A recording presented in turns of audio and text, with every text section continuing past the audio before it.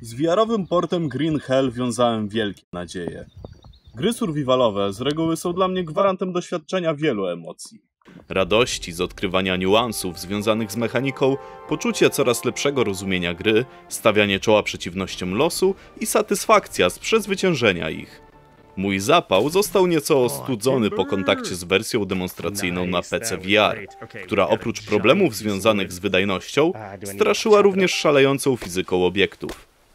Dopiero później dowiedziałem się, że wersja na Questa będzie inną produkcją. Nie tylko brzydszą, co jest akurat bardzo zrozumiałe, ale także uboższą w mechaniki i zawartość. Z zaciekawieniem, ale także pełen obaw, podszedłem więc do tej produkcji, aby na własnej skórze doświadczyć zielonego piekła.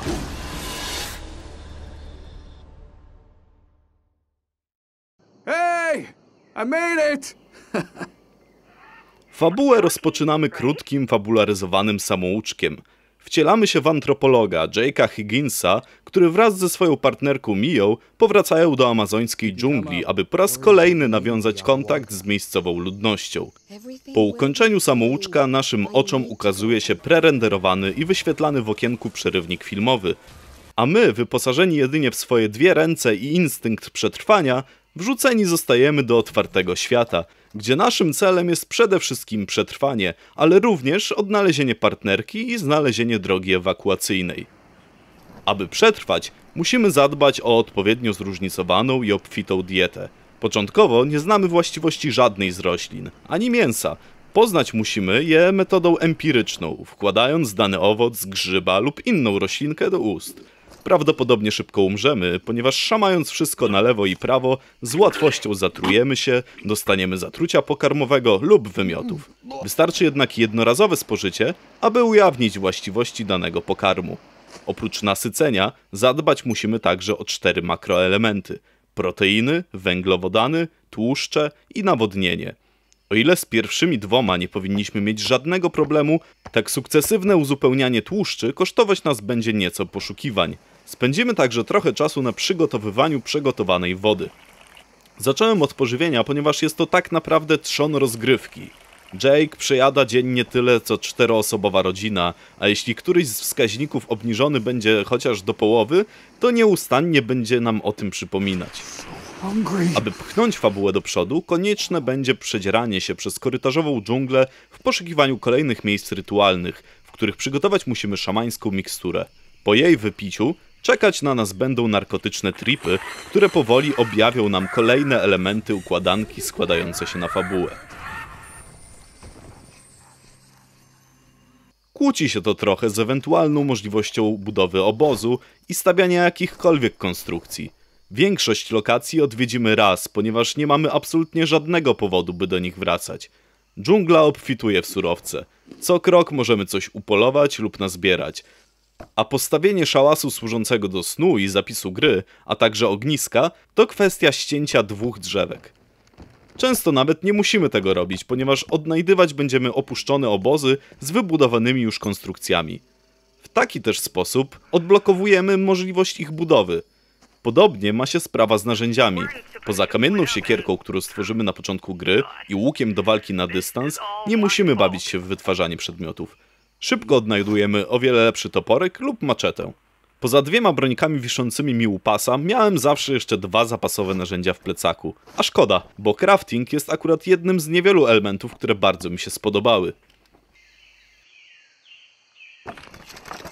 Rzadko, ale jednak napotkamy w dżungli drapieżnika. W przypadku powoli dreptających pająków lub statycznych grzechotników nie mamy powodów do obaw, jednak w przypadku losowo spawnujących się panter i kajmanów lepiej miejmy dosyć świeży stan zapisu gry w zanadrzu, ponieważ jesteśmy dla nich przekąską na jedno lub dwa uderzenia. Nie ma absolutnie żadnego sensu angażować się w walkę w zwarciu, ponieważ system takowej w tej grze nie istnieje. Zarówno nasze hitboxy, jak i te przeciwników są kompletnie niezrozumiałe, więc w przypadku konfrontacji pozostaje nam nerwowe wymachiwanie dłońmi w nadziei, że uda nam się zabić oponenta zanim ten ukatrupi nas. A nawet wtedy nie mamy gwarancji przetrwania, bo załatwić może nas niewystarczająco prędko opatrzone liściem krwawienie.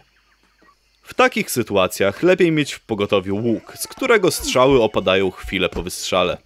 O ile w ogóle uda nam się nałożyć je na cięciwe, ponieważ strzały potrafią odbić się od łuku w wyniku kolizji obiektów. Podobnie na dystans warto otrzymać przeciwników typu tubylec, których w trakcie mojej rozgrywki napotkałem, uwaga, uwaga, trzech. Z czego dwóch ominąłem, ponieważ nie stali mi na drodze do celu.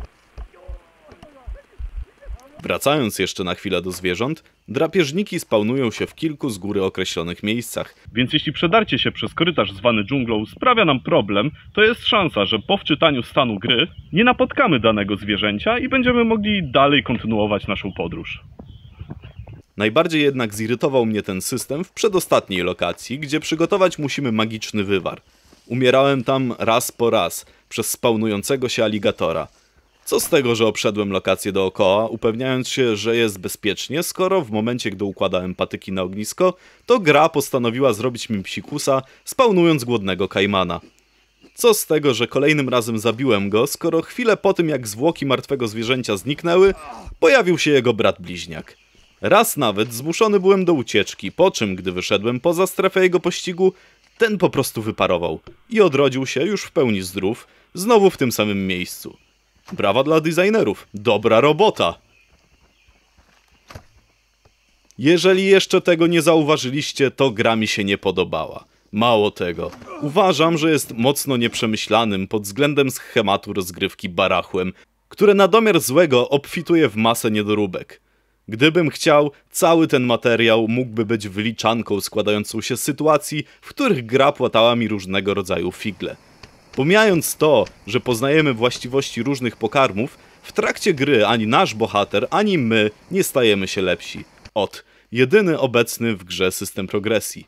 Po osiągnięciu już odpowiedniej wiedzy na temat tego, co możemy jeść, a czego unikać, nie mamy już nic więcej do odkrycia ani odblokowania. Owszem, możemy poznać schematy i zbudować na przykład bambusowy kolektor na deszczówkę, tylko po co? Skoro świat gry jest tak mały, że zapas wody wystarczy nam na odbycie podróży od jednego takiego predefiniowanego punktu do kolejnego. Nie żeby był jakikolwiek powód, żeby w ogóle to robić.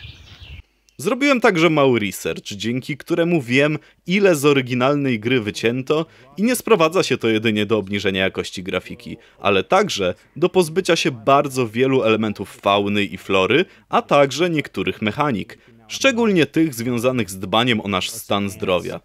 Każdą ranę na naszym ciele wyleczymy bandażem z liści, a negatywne statusy, takie jak zatrucie, truciznę, z łatwością wyleczymy metodą konsumpcji, podczas gdy w płaskoekranowej wersji przygotowywać możemy przeznaczone na różnego rodzaju dolegliwości opatrunki. Wiele osób zachwala, ba, jest wręcz zachwycona oprawą graficzną questowej edycji Green Hell. Nie podzielam tego entuzjazmu. Owszem, podczas pierwszego kontaktu mnogość i gęstość roślinności przyprawia o mocny efekt wow. Jednak po chwili obcowania z grą zaczynamy dostrzegać wiele zgrzytów. O ile niskiej jakości tekstury elementów otoczenia są w pełni zrozumiałe, tak ten sam poziom ich jakości w przypadku przedmiotów, które dzierżyć możemy w dłoniach, jest dla mnie kompletnie niezrozumiały. To jeden z tych niewielu przypadków, kiedy VR-owa gra wygląda lepiej na nagraniu niż w trakcie rozgrywki. Zmiany pogodowe następują tutaj w systemie zero-jedynkowym. Nagle. W ciągu zaledwie ułamka sekundy. Podobnie ma się sprawa z dźwiękiem, którego realizacją twórcy chwalili się przed premierą.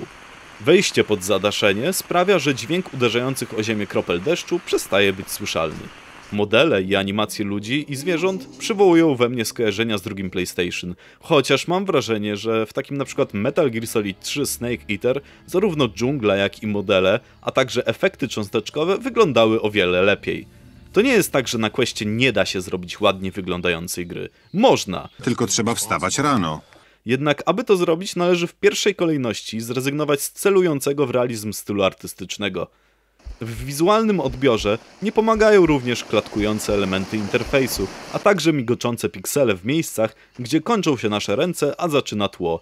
Nie widać tego na nagraniu, ale uwierzcie, że nie wygląda to dobrze. A jako, że często trójwymiarowe elementy znajdować się będą blisko naszej twarzy, to doświadczać będziemy nieprzyjemnego migotania, tak jakby obraz w lewym i prawym oku nie synchronizował się w odpowiedni sposób. Postaram się to zaprezentować przy pomocy magii montażu. Gdy po mniej więcej 7 godzinach e, zabawy udało mi się finalnie ukończyć fabułę, poczułem ogromną ulgę związaną z tym, że już dłużej nie będę musiał w nią grać. Nie jest to raczej uczucie, które towarzyszyć powinno obcowaniu z dobrą grą, dlatego kompletnie nie rozumiem wszystkich tych pozytywnych recenzji, którymi zasypywany jest Green Hell. Osobiście y, nie polecam. Być może wersja PC VR okaże się lepsza, jednak po kontakcie z wersją demonstracyjną, a także wersją questową, mam w tej kwestii coraz mniejsze nadzieje. Mówił dla Was Damian Perka. Pozdrawiam.